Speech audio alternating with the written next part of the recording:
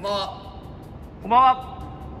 はい長谷川コーチ今回はえーどのようなことをお教えしていただけるんでしょうか？はい今回はですね結構あのよくあのスクール生の方とラリーするとちょっと高い打点がちょっと打ちづらいと。特にフォアハンドストロークで高い打点の返球がこう難しいという方がいらっしゃるんで今回ちょっと高い打点のフォアハンドにこだわってやっていきたいと思います。はいありがとうございます、えー高い打点のフォアハンドえーいうことで、まあ、トップ打ちっていうような感じになってくると思うんですけど、まあ、あの高いところの打点で打つ上で気をつけることっていうのは何かあるんですか？はい。まず1つ目です。1つ目はやっぱり高いんでこう低くセットするのに例えば高めにやっぱりテイクバックもセットする。高いところにセットするっていうのが一番こう低くならないでグッとちょっと上げる感じになります。だからボールの高い高い打点だなと思ったら高めにセットするっていうのを一つ意識していただくでポイントの2つ目としてはなるべく肩口の高さで打っていくと、まあ、それ以上高いとやっぱ難しいんで力が入りづらいんで肩口の高さでボールを捉える。で結構その次が大事なんですけどあんまりスピンをかけようとしなくて大丈夫です。肩口の高さで捉えたらそのまま前に出ていくまあこうやって捉えます。捉えたらそのままぐーっと前に出していけば自然にプロネーションを使えてスピンもある程度かかりますので高くセットして後ろから前に打って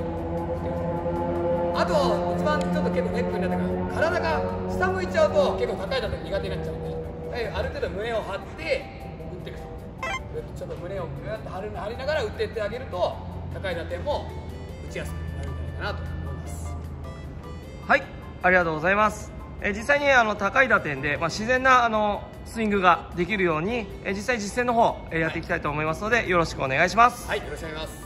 はいでは実際にボール打っていきます今向こうからね球出しをしてもらいますんでちょっと高めにボールが来ますからちょっと高い打点で打っていきたいと思います。じゃあお願いします。高めにセットして後ろから前。に高くこのままシンプルにスピンとかかけないで肩の高さ肩口の高さで後ろから前。に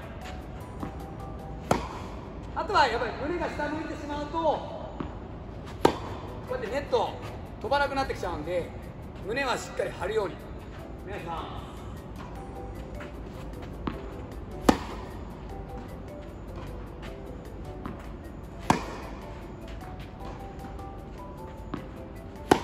すはい。こんな感じで今ちょっと高めに来ましたけども高くこうセットして後ろから前ですこれこうやってスピンをかける必要はないんで高くセットして肩口で当てて前に振るその時に注意点は胸がこう下向かないで胸を張って上げるとしっかり腕が振りやすくなりますじゃあ最後にもう一回やってみます。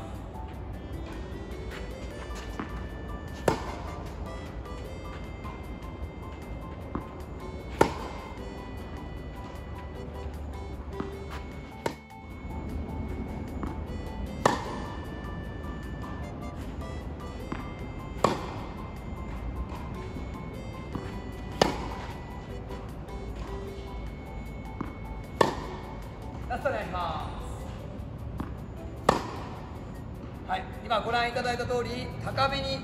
セット。そしてボールに対して後ろから前に捉えていきます。そこからあとは前に出していきます。でその時に胸が下向かないように胸をしっかり起こして振ってあげるといいと思います。胸が下向いてしまうと